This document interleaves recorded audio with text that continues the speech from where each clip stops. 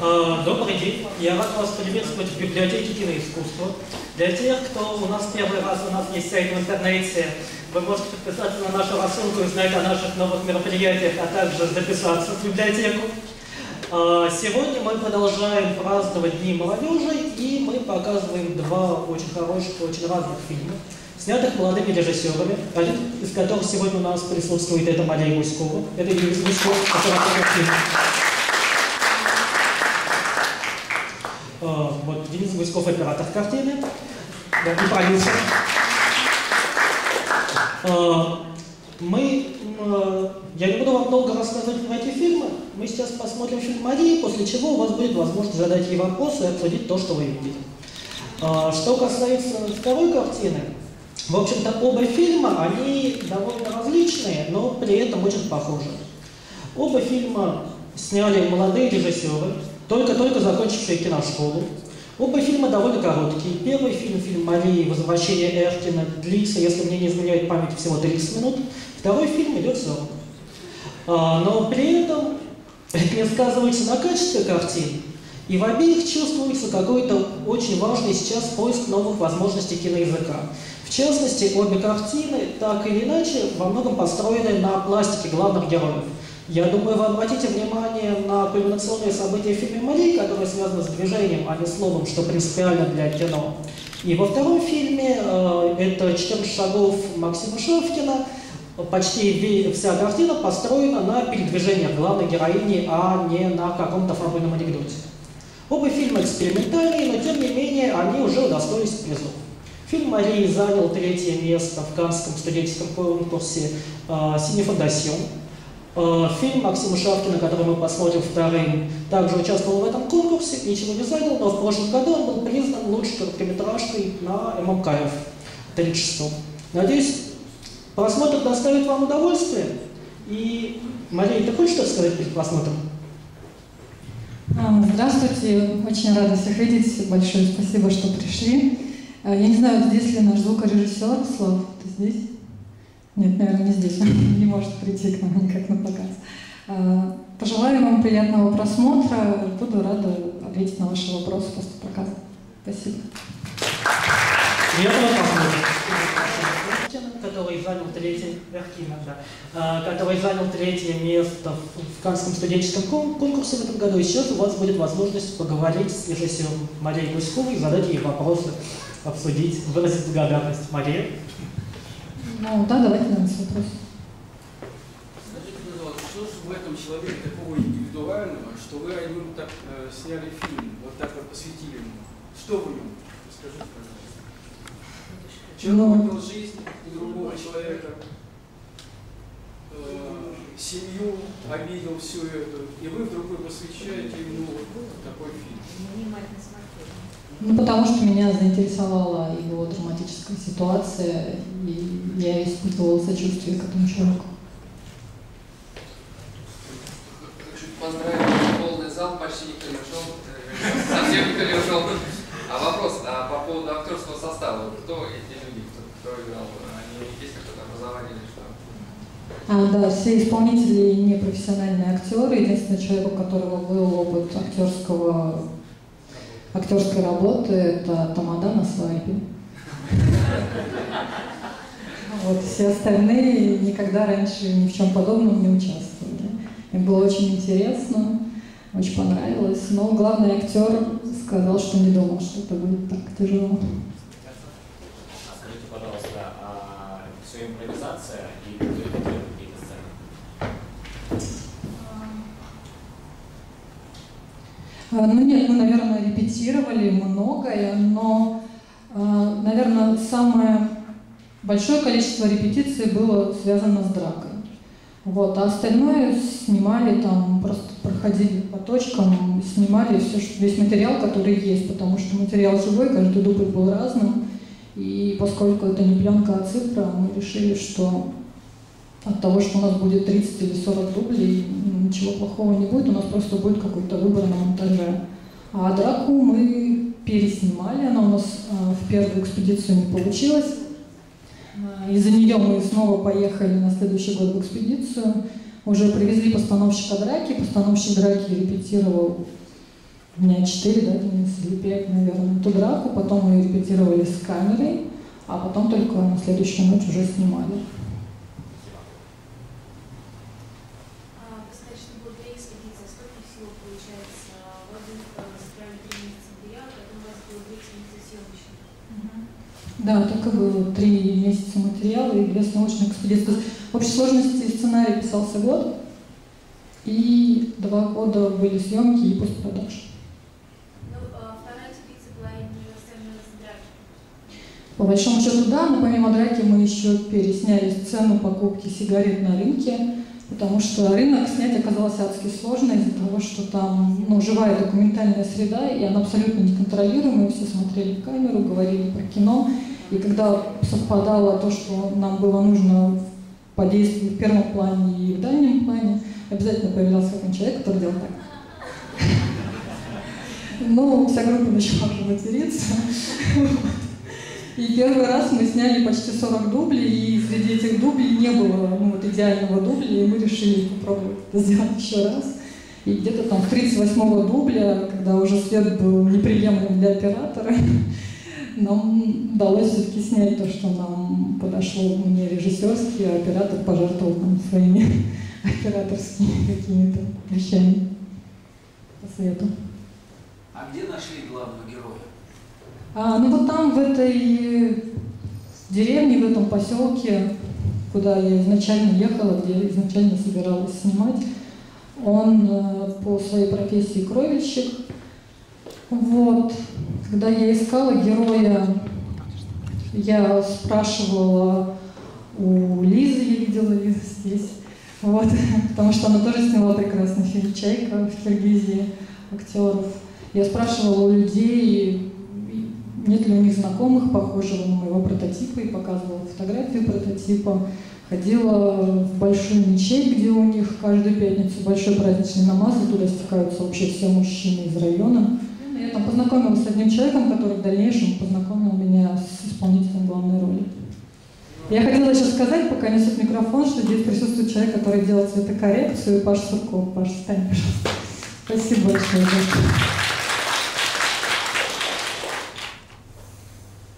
А где еще вы показывали этот фильм? Или еще нигде не показывали? А, Этот фильм мы показывали в Каннах, там была премьера.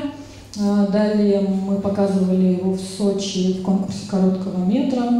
После Сочи нас включили в фестиваль- в программу, которая называется «Эхо кинотавра».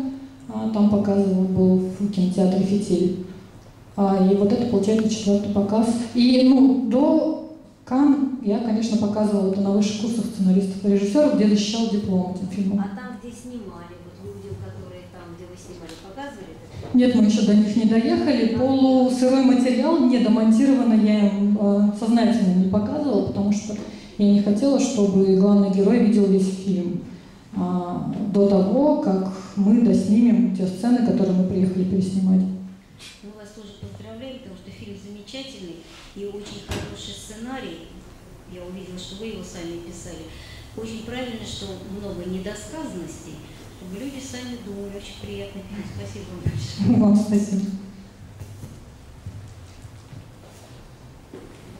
А, Еще вопросы?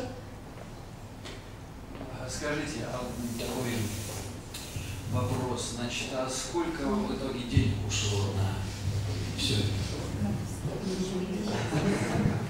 Вопрос продюсеру. Но в общей сложности за три года от начала до конца порядка 800 тысяч было потрачено. Чего? Это рублей. Слава богу, рублей. Кстати, а съемки проходили в одном месте или в разные места? В одном месте и э, вот, ну, ну, понятно, что все реально, как вообще люди живут вот в этом месте, где вы снимали? Просто вот что там, мы какие-то куски видим, ну просто вы наблюдали, расскажите немножко о самом месте, о людях, не, не о съемках, а о жизни самой в этом местечке. А, Глобально было две, не знаю, два региона съемок. Один – это пригород Бишкека, там мы снимали все, что связано с тюрьмой, то есть выход героя из тюрьмы, остановка и то, что вот он едет внутри маршрутки. Всю остальную часть мы снимали на юге Киргизии, в той части, где как раз живут узбеки. А, и все локации были там. По поводу того, как люди там живут, ну, примерно так, как на экране, потому что я по большому счету ничего не придумывала там, из того, там, что касается их быта. Он мне нравился настолько, что я, когда собирала материал, записывала, что я обязательно должна использовать. И, ну, То есть это из поселения такое, да? да, да, это село, называется Масы, рядом с городом Ош.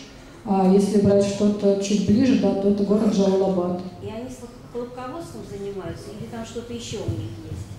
А, ну, что-то еще они выращивают хлопок, они выращивают рис, кукурузу, ну, то есть земледелием как-то занимаются. У них есть скот. А, ну, что еще? Достаточно. Ну, работы очень много у них. Ну, и все, конечно, строят дома, потому что те деньги, которые они раньше зарабатывали здесь, ну, до кризиса позволяли им, ну, вот как-то там они совсем другие люди, не такие, как здесь. Вот, и у них у всех большие дома, хоромы, каждый день свадьбы, и все на этих свадьбах гуляют. И, ну, я не понимаю, как они выдерживают. Вот. Ну, то есть, как только у них начинается этот сезон свадеб, они каждый день вот на какую-то свадьбу идут. И притом там есть мужская часть свадьбы, женская часть свадьбы с утра, вечером. Есть свадьбы, которые, ну вот как свадьба, когда мужчина и женщина женятся. Есть свадьба, как празднование обряда инициации мальчиков, что они стали мужчинами. Ну, то есть вот лето это такая вот у них прям пора свадеб и осень. А что касается свадьбы, танцующим деньги дают, да? Это что за традиция же какая-то? Да, да, это традиция. Тем людям, которые танцуют, дают деньги. Это или подарки, это могут быть платки, ткани, какую-то рубашку Денису давали, когда мы там танцевали, шапки надевали. Вот, в них деньги пихали, вокруг люди, дети, значит, ловят те деньги, которые во время танца у тебя выпадают из рук. Вот. А, ну да, и деньги это как знак уважения к тому, кто танцует. Вот. Ну, в принципе, он потом эти деньги раздает следующим людям, которые танцуют за ним, и это такой круговорот денег у них получается вообще. А свадьба настоящая была? На экране постановочная. Ну, настоящую мы бы снять не смогли, потому что даже то, что вот мы снимали на экране, это была одна из самых сложных э, смен у нас, одна из самых сложных сцен. А поскольку мы были ограничены в бюджете, у нас не было доли, у нас не было тележки, ну, то есть того профессионального оборудования, которое необходимо для съемок. Съемочная группа состояла у нас из трех человек плюс главный актер. Три человека – это вот режиссер, оператор и звукорежиссер. Вот, то есть мы все сами ставили свет вот, и делали те вещи, которые обычно делают там группа из 20-30 человек. А, и на свадьбе просто была проблема с массовкой, потому что мы ее снимали уже в ноябре, и было холодно, и надо было отслеживать, чтобы никто не успел надеть куртку или там шаль накинуть на себя, никто не успел пересесть, люди все время рассасывались, пересаживались с одних мест на другие, но для кадра это неприемлемо, потому что потом на монтаже это видно, говорили про кино, ну, в общем, да, много было сложностей с этим связанных. У звукорежиссера нашего была температура, вот. А, значит, главного исполнителя кто-то там приносил ему немножко выпить, чтобы он согрелся, не простыл и не замерз в какой-то момент. Нам Несмотря на температуру главного, ну, нашего звукорежиссера, э, у нас практически 100% э, чистый звук. Это вот единственная сцена, где нам пришлось, на самом деле, что-то переозвучить. Это вот как раз сцена свадьбы, где он произносит свой тост. За что большой респект Славе. Жалко, что он сегодня к нам не смог присоединиться. а, ну да.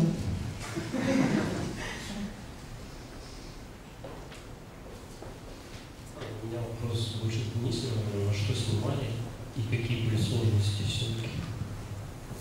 сложности были простые. Мы снимали на свои средства, соответственно, можно сказать, что их не было. А на камеру э, мы снимали на Red Epic. Слава богу, это моя камера была. Я ее в свое время купил, и вот она у нас была доступна. То есть свет, вот опять же к вопросу о деньгах, а, потому что не было брать в аренду да, профессиональный свет. А я, то есть мы с Машей изначально договорились об эстетике фильма, что а, будет цвет как бы такой ненасыщенный, мало. Очень хороший, видно, что какие-то сцены снимались... Отчасти вот Паше большое спасибо за помощь. Да, уже когда потом представили, я понял, что уже фильм вытягивают дополнительно, но как кажется, что прям естественное освещение очень хорошее. много, да. В основном, как бы, снимали все, ну, у меня было два отражателя для дневных, для дневных сцен. Купленных на строительном рынке в Бишкеке. Ну, один был куплен, да, второй мы привезли с собой. Нет, почему, да, один мы с собой привезли, а второй мы купили. А кто держал? Ну, опять же, помогая, по- нам помогало очень много людей, на самом деле, оборудованием и так далее. Как бы, огромное спасибо всем, на самом деле. Без этого было вообще невозможно даже с вос- с 800 тысячами рублей снять это кино иначе.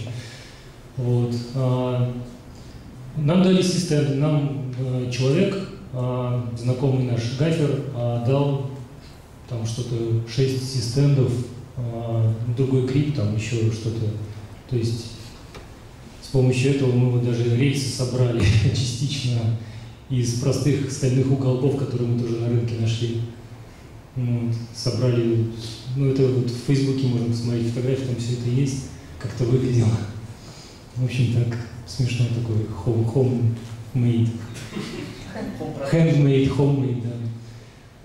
Вот, значит, из-за из-за того, что как бы были ограничены средства, я, значит, ну, принял решение, что мы будем, э, надо искать другие варианты, не брать цвет в аренду, потому что мы посчитали, сколько это будет вести отсюда, это просто астрономия, сколько это стоит.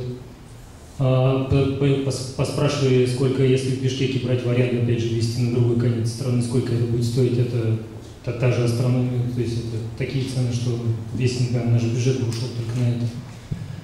А у нас как бы три экспедиции в итоге. Просто на- ночная сцена с дракой, она Значит, очень хорошо вот я к этому подхожу как раз. Там темноте получается? Что?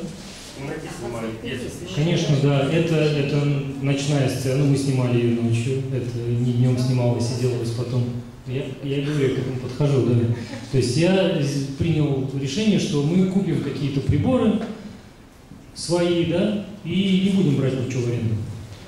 Вот, значит, ну, я в интернете полазил, поискал, что вообще есть доступного. Вот нашел я китайский прожектор, которым обычно освещают билборды на улице, вот и фасады домов, да. 100 ватт, светодиодный. У него, конечно, цветовая температура, ну, так себе, он холодный, но, конечно, зеленит, там все, все на свете происходит. Но так как мы с Машей приняли решение, ну, как договорились об эстетике цветовой, цветовом решении фильма заранее, я понимал, что критично, а что не критично. Ну, и этого, в принципе, было достаточно, этих приборов. Вот, я купил четыре, четыре прибора, и, в принципе, вся ночная сцена, которая там есть, это снималось в полнейшей темноте, больше не было никакого света, на открытой диафрагме. Четыре прибора.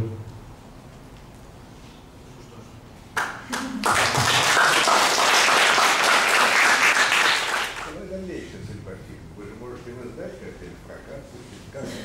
А, Ну, к сожалению, у короткометражного кино прокатная судьба практически невозможна, то есть это очень небольшой процент. Как правило, это альманахи, которые делают ну, какие-то дистрибьюторские компании. Вот. Э, Сейчас несколько людей предложило нам такой вариант, но мы думаем, что это хороший вариант, э, потому что фильм увидят где-то еще. Вот. Но в целом у короткометражного кино фестивальная судьба, и, как правило, оно является визиткой режиссера, с которым может идти дальше к продюсеру и говорить, вот мой новый сценарий. Вот. А вот моя предыдущая работа, если я вам интересен, мы можем с вами сотрудничать. А как ему 800 тысяч отбить? Никак. А. Планы? Будущее. А, Ну, сейчас я начала работать э, над следующим сценарием. Хочу, чтобы это был полнометражный фильм, но пока работает в такой зачаточной стадии. Вот. э, Работу над этим фильмом мы закончили постпродакшн, когда мы ходили. в январе, наверное, да? В январе. Вот. А дальше очень плотно занимались э, отправкой фильма на фестиваль. Оказывается, занимает очень много времени. А когда фильм берут на фестиваль, требуется еще больше времени для того, чтобы отправить все документы, сделать DCP, сделать пресс-релиз и ответить на большое количество вопросов, ну и так далее. И по большому счету, вот пока не закончился кинотавр, у нас был очень плотный график, и сейчас мы так немножко выдохнули. Ну, если вопросов больше нет, давайте поаплодируем нашим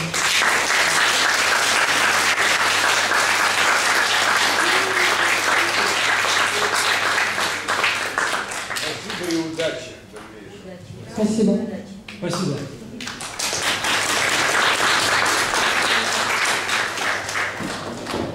Э, Я кратко представлю следующий фильм, который мы сейчас посмотрим. Ребят, мы будем в фойе, если кто-то хочет пообщаться, мы не уходим. Да. А Я кратко представлю следующий фильм. И сразу скажу, мы в несколько сложном положении. А, да, я предупреждаю, фильм 18+, если тот вдруг есть несовершеннолетние. А, по- поскольку, да, и сразу встала половина зала. А, поскольку э, создатель фильма, режиссер Максим Шавкин сегодня не смог с нами приехать. Эта картина, безусловно, очень интересная, она заслуживает вашего внимания. Как я уже сказал, в прошлом году она взяла приз на ММКФ как лучший короткометражный фильм. Но при этом, на мой взгляд, при всех достоинствах этой ленты, она чуть менее совершенна, э, чем «Возвращение в кино». Э, Максим пытается найти новый язык кино. Отчасти у него это получается. Но иногда это несколько сказывается на сюжете. Поэтому я позволю вам не то чтобы произнести некое либретто, но э, я бы на вашем месте трактовал эту историю, которую вы сейчас посмотрите, как историю движения главной героини. Поскольку ее передвижению по Москве уделяется большое внимание. Э, обратите внимание, вначале главная героиня движется очень целеустремленно. Э, чуть позже После того, как происходят некие события, ее движение приобретает более э, нервный характер, и в конце, что очень важно для восприятия фильма, камера вдруг становится статичной, и она начинает двигаться очень плавно. Пожалуй, это все, что следует знать о фильме «14 шагов». Я надеюсь, что вы получите удовольствие, и простите, что мы не сможем ответить на ваши вопросы после. До свидания, приятного просмотра.